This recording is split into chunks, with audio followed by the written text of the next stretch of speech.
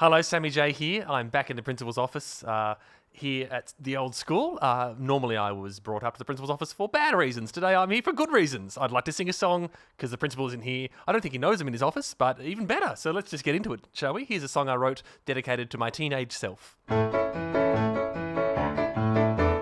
What, what, what would I say to me if I could be transported back in time, back to when I was a boy? Oh boy, what would I say? To teenage Sammy J if I could spend a day with him. All the wisdom I've earned, all the lessons I've learned, I'd pass it all on. I'd say, Sammy, be strong. There'll be pain, boy, moments of shame, boy. But life is not a race, so play a normal game, boy. But, but, I remember me when I was 13, and I would have been suspicious of a dude who traveled back in time offering advice and claiming to be me.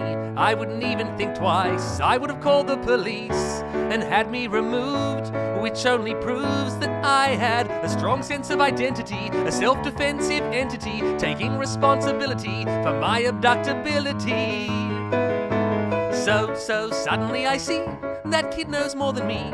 I may be 33, but if someone claimed to be me, I would probably believe them and invite them home for dinner and then get stabbed. Quod bonum tenete.